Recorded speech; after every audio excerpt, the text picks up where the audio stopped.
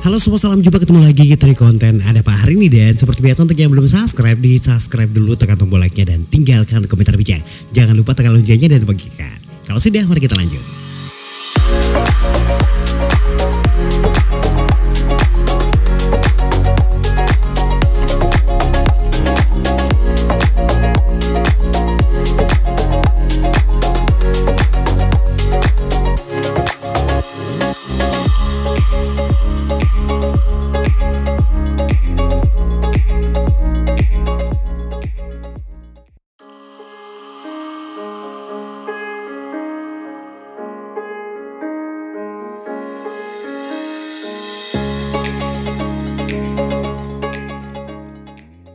Nah teman-teman netizen yang luar biasa Assalamualaikum warahmatullahi wabarakatuh. Salam sejahtera untuk kalian semua Dan semoga saja limpahan keberkahan dan keberuntungan Terus diberikan Tuhan Yang Maha Kuasa Pemilik langit, bumi, dan seluruh isinya. Nah seperti biasa saya Rudi Hartono Spiderman Pare-Pare kembali mengajak kalian melihat peristiwa hari ini di Ada Apa Hari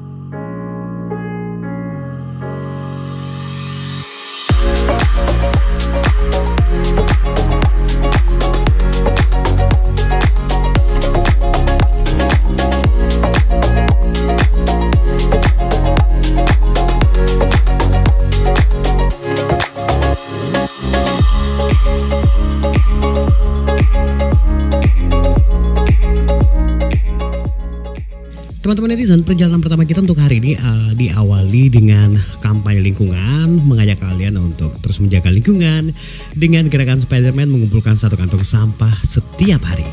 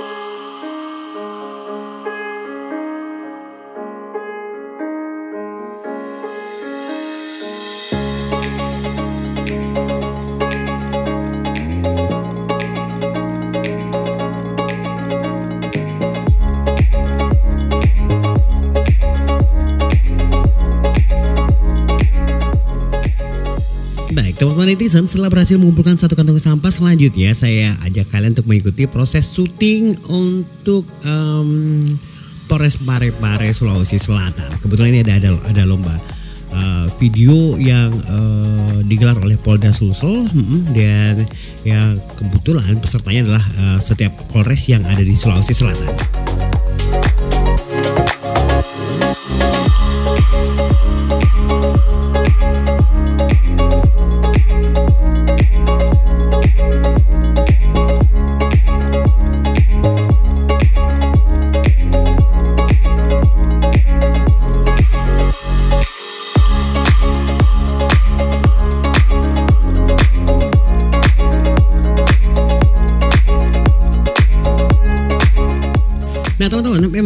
Saat ini eh, pihak kepolisian sendiri berusaha memperbaiki citra mereka di tengah tergerusnya eh, kepercayaan masyarakat terhadap eh, pihak kepolisian. Contoh misalnya mulai dari kasus Sambo, mulai dari kasus eh, eh, Teddy Minahasa dan segala macamnya yang eh, saat ini sepertinya memang terus memberondong eh, apa namanya hmm, pemberitaan tentang eh, kepolisian itu sendiri dan semuanya memang eh, yang viral-viral ini kebanyakan negatif ini ya.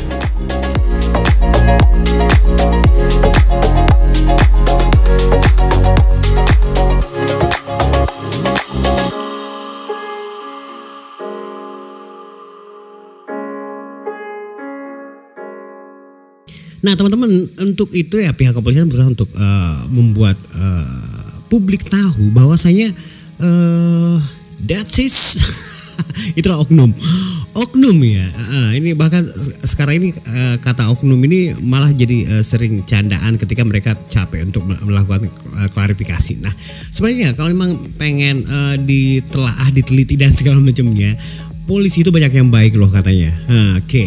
nah di dalam sila mereka berusaha untuk menggambarkan bahwasanya uh, kalian hanya belum uh, menemukan polisi-polisi baik itu. Nah makanya di setiap polres itu ada uh, apa ya kegiatan yang uh, berusaha untuk memperlihatkan citra polisi yang uh, sebenarnya luput dari uh, pantauan masyarakat. Nah memang sih sebenarnya ya supaya masyarakat lebih tahu. Uh, pihak kepolisian juga harus bermain di media sosial gitu ya. Yo, misalnya ada kegiatan apa gitu uh, supaya eh, nggak uh, kelihatan bahwasanya nanti uh, postingan uh, kebaikan kepolisian itu banyak yang muncul ketika ada kasus atau apa segala macamnya. Nah, seharusnya dari dulu mereka sudah memborbardir media sosial dengan kegiatan-kegiatan mereka. Nah, nah, cuma kemasannya, kemasan yang harus mereka itu uh, berikan ke publik itulah kemasan yang sederhana yang mudah ditelaah dicerna oleh masyarakat. Jangan membuat mereka berpikir uh, untuk apa ya menelaah informasi dari uh, video itu sendiri. Nah contoh sih video yang paling berhasil itu punya Pak Babin. Uh, itu tuh ada konten dari Polri itu tentang Pak Babin kegiatan Pak Babin dan segala macamnya. Itu bagus banget sih sebenarnya ya. Seandainya setiap Polres itu punya Pak Babin Pak Babin uh, seperti ini nih yang membuat membuat konten-konten edukatif yang mudah dicerna masyarakat itu sangat luar biasa loh.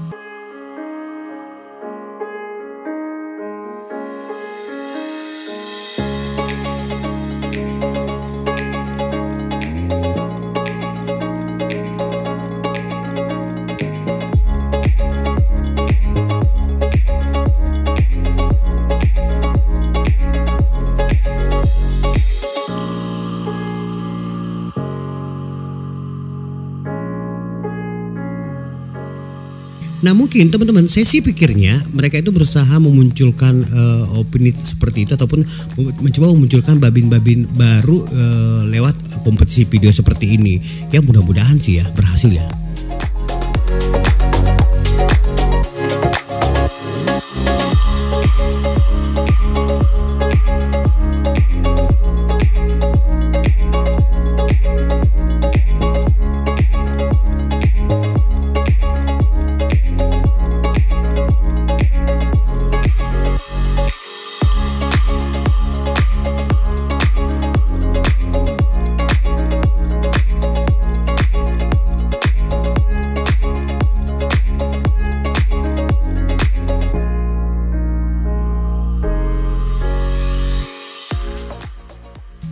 Baik, teman-teman setelah melihat proses pembuatan uh, film uh, pendek tentang uh, Polres Parepare ini selanjutnya uh, di malam hari saya ajak kalian untuk makan malam dulu. Kita ke Resa Paleko Parepare.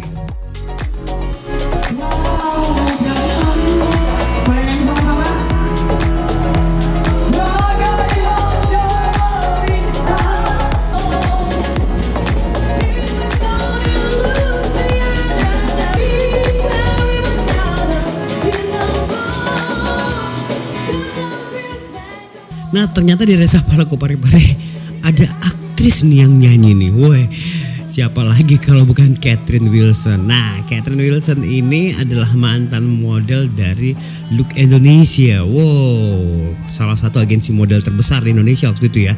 Ah, nah, sekarang ini kan dia uh, udah dipinang nih sama uh, Ida Mase uh, yang punya Resa Palako. Makanya kelihatan nih dia nyanyi di Resa Palako Parepare nih.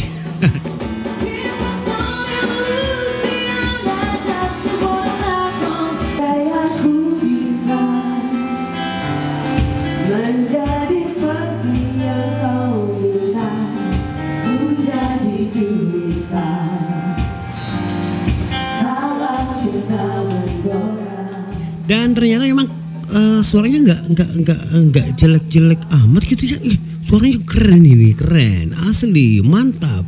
Tinggal saya asah nantinya. Saya nanti akan uh, membuat beliau itu suaranya lebih tokcer. Yeah kayak juri Indonesia Idol saya